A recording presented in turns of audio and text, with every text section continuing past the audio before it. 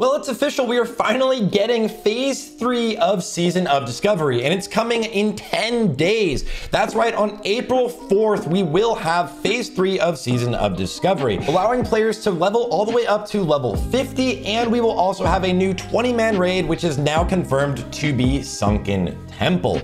This is a pretty, pretty abrupt announcement, to be honest. It's pretty exciting, but it's definitely coming pretty quickly. I know there's a lot of people out there who have been kind of thinking that phase two was lingering a little bit too long. And then there's other people out there who are playing the game competitively and doing things like speedruns who definitely were kind of getting into full swing. So we're gonna see a rush of all of that. This will be the last Darkmoon Faire that you can get if you do want to be like racing to level 50, or if you just wanna have have Darkmoon Faire up for level 50. But the Sunken Temple raid is actually pretty exciting. It's definitely what was expected to be the raid for next phase. And there's gonna be a lot of really, really cool items in this raid that are gonna be leveled up in a nice and really amazing way. The Epic Sword Dragon's Call is probably gonna be something way more unique than just like randomly summoning a dragon. It's probably gonna be a lot stronger. Also, the class quest will definitely be revamped. Things like Diamond Flask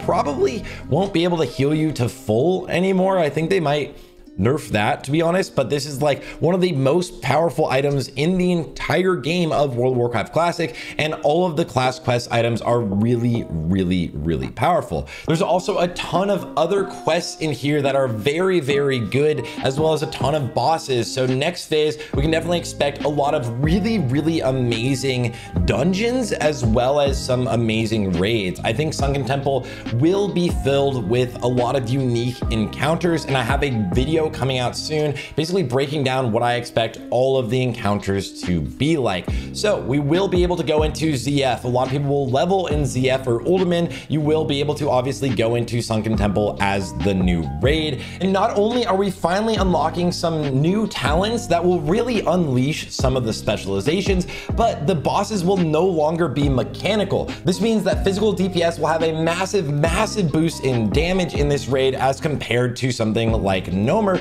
where you're losing about 40% of your damage just because the bosses are mechanical. Sunken Temple no longer has that, which is actually really exciting. There's already eight bosses in here, but you have to remember there is the entire bottom room and then there's the entire top room before you go into the main section and deal with the bosses, as well as there's a lot of unique encounters in here like Jammal'an the Prophet or Shade of Eranikus that are going to be a ton of fun the way that they rework them. The classes will get a lot more powerful. You'll unlock more talents that will allow you to bring your build online, especially for classes, something like a Feral Druid, which can now have Leader of the Pact and be able to power shift. So those things will all be nice. And we'll also, of course, get some new runes. So you can expect potentially some of the runes that were data mined, but we're definitely going to see the new runes soon. So finally, we get the next season or the next phase in Season of Discovery. Of course, guys, as usual, I will have everything covered here on the channel.